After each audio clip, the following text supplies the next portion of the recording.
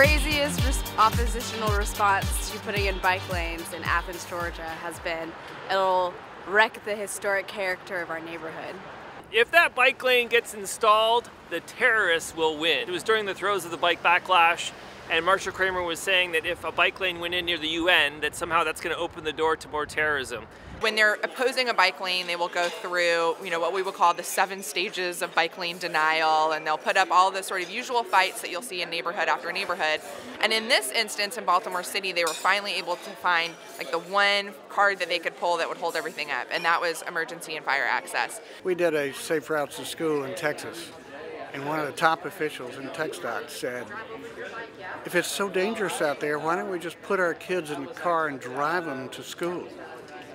And I thought to myself, you know, I'm not sure she's got it yet.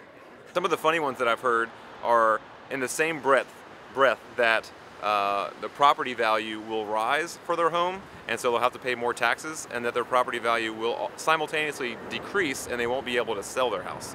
And I'm like, well, you kind of have to pick one, don't you?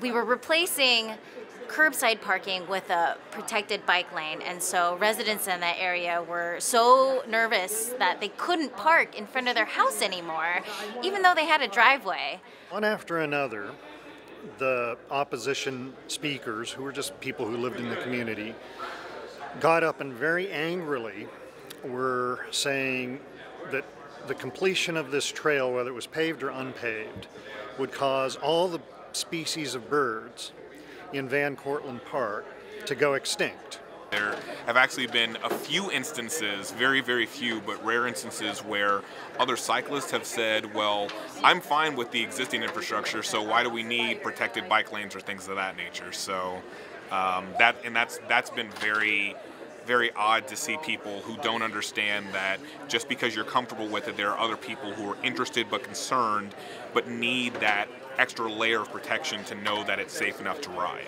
Once in Chicago, I had a black alderman tell me, I don't want to put in bike lanes because black people don't bike. And as he said that, we both looked to our left and a black woman rode by on a bicycle. And I said, are you sure about that?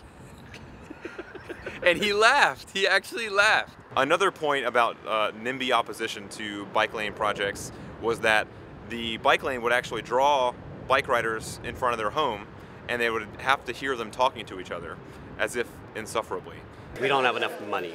It's just ridiculous to me, especially considering how much millions of dollars go into vehicle traffic infrastructure comparative and relative to how much it actually costs to put a bike lane in. This week, somebody was, uh, one of the DDOT planners in DC was saying that people are opposed to bike lanes because the pylons and flexi posts are ugly. As we've all heard is like totally contradictory is that no one will use that bike lane and tons of bicyclists will use it and they'll mow down pedestrians. Which is it? Are there going to be more people using the bike lane or nobody using the bike lane? So one of the most common excuses for not having a bike lane is I don't see people riding bikes. So why am I going to go build something if I don't see people using it already?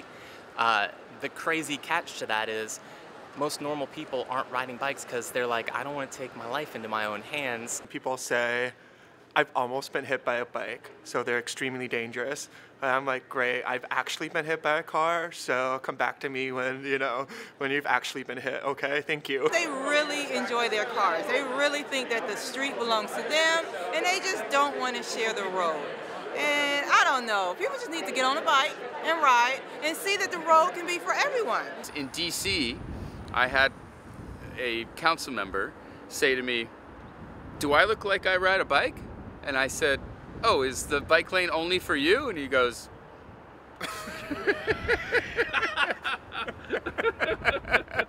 That's pretty good. There's a golf course on one side and the Sawmill Parkway, which is basically an expressway, on the other side for sections of this, this trail. Um, so that's what we were dealing with. All the species of birds in Van Cortlandt are going to go extinct due to a bike path.